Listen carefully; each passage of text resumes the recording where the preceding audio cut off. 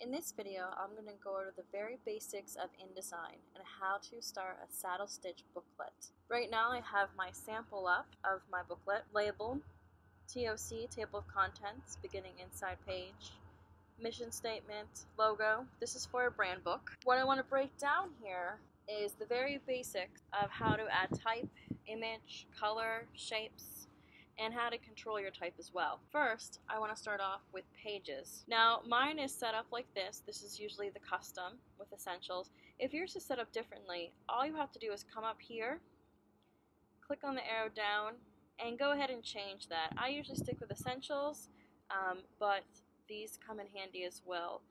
If remember you can't find your tools just like in the other Adobe programs, come to Window and you'll be able to find them in here.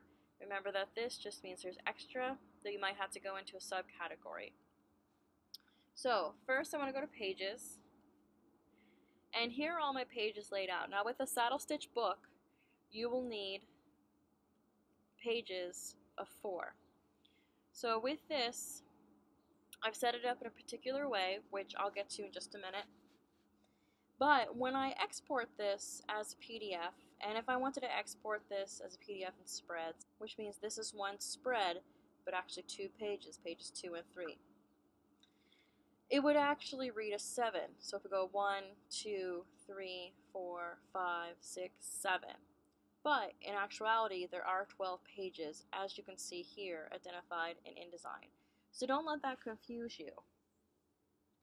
Now, you have your regular pages, which you can design on, and then you have your master page. So if I come up here and click on these, double click, I'm in my master page area. You can see that because it's highlighted in blue and over here as well. If I wanted to add a new master page, all I have to do is make sure I'm on my A master and click masters here. I'm actually just going to delete that and keep my A master.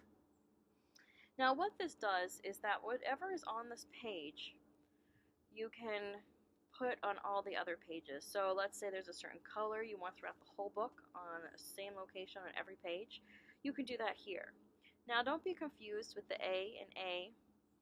That is just for figuring out page numbers. So if I go to page 2 and then page 3, I had to use the AA first in order for that to start. And I'll show you in just a few minutes about how to make page numbers as well.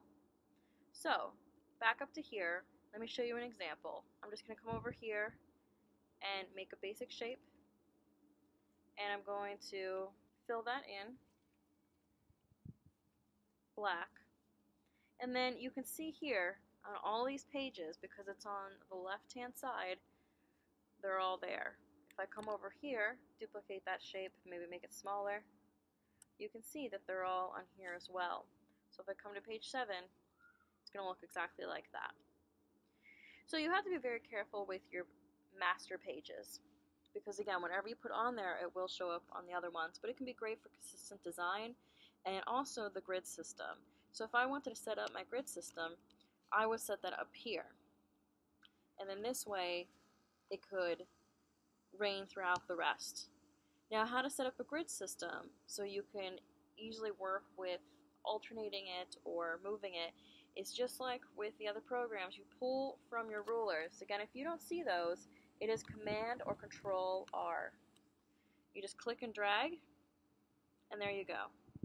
Now you can see I already have my rulers set up. They are in a bright blue.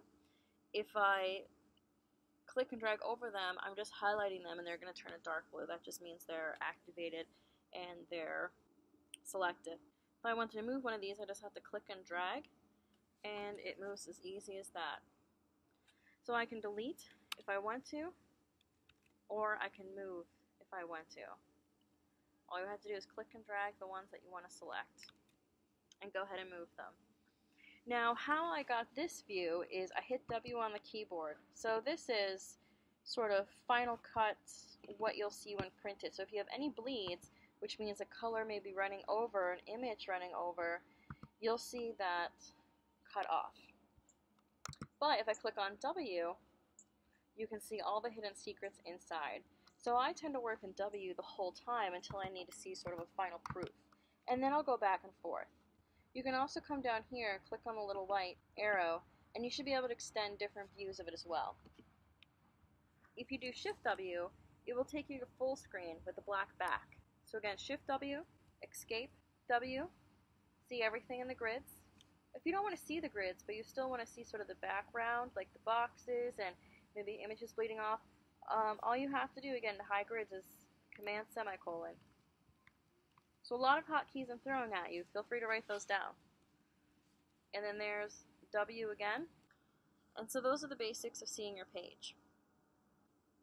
Next, we're going to open our own document so you can see how to set up. But what first I'm going to show you is I'm going to go to File, and then Document Setup. So you can see what I've done. So when we're picking for this, we're going to do facing pages. Now we wouldn't normally do that if we're just making a poster or flyer in here. Facing pages is strictly for books or booklets. Number of pages, you want to go in sets of four, so feel free to start off with four, eight, and then move up. Page size, you want letter half, width 5.5, height 8.5, and you want the orientation to be portrait. Bleeding, that's if you want colors to run off the page. You can do this also by cutting down the paper as well, but if you have a certain size page that you want in a full bleed, then you can use this. And then I just want to push cancel because I wanted to show you what that looked like. So now we're going to open our own. So if the program opens, it usually comes up with a, a box like that. But if we're already opened here, we're going to just go to File, a new document, Command N. So remember these settings all change. We can already go to print up here. And we can already come over here. It's still in picas, which is a, a way of measuring type. Really, for us, we're going to use inches. So I have facing pages. I have 5.5, 8.5, orientation this, and I have it a half letter. And I'm going to create. So I've only put in one page. So I'm going to come over here to my pages, and I'm just going to click new a few times. There we go. I have 12 pages. I already know that this is going to be the first page I see outside of my cover. The cover for these booklets are done in another document. Still in InDesign, but just in another document. So if we come back to the original one that I had, this is going to be the table of contents or the beginning inside page. Doesn't necessarily have to be the TOC, but just know that it's the beginning of the inside page. So you want, might want to plan this with the inside cover of your booklet or maybe pop a logo on there or something like that. But do remember that after the cover, this will be the first true inside page. And then, just so you know, these are all separate pages. So this is definitely page 2 and page 3, page 4 and page 5. And together they equal one spread of reading. So we are designing this in Reader or Designer spreads so we can design easily, we can read it easily, but we will be printing another way printer spreads. So I'm going to come up here and I'm going to show you how to first do page numbers. So I'm coming up to my type tool, T on the keyboard. I'm just going to click and drag and make a box and put A in there. If you want to, you can come up here and change the type. Now be careful where you put the page number. It doesn't technically have to go at the bottom or the corner. It can go maybe on the side, maybe on the upper corner. Just watch where you want to put that especially when you're thinking about trimming. So again, I'm going to come on my type tool, and I'm going to click and drag and highlight that A. And then I'm going to come up here to my type. I'm going to come up to Insert Special Characters, Markers, Current Page Numbers. And then you see if I'm on page 2, it says 2, page 4. But if I come over here, I'm still on A.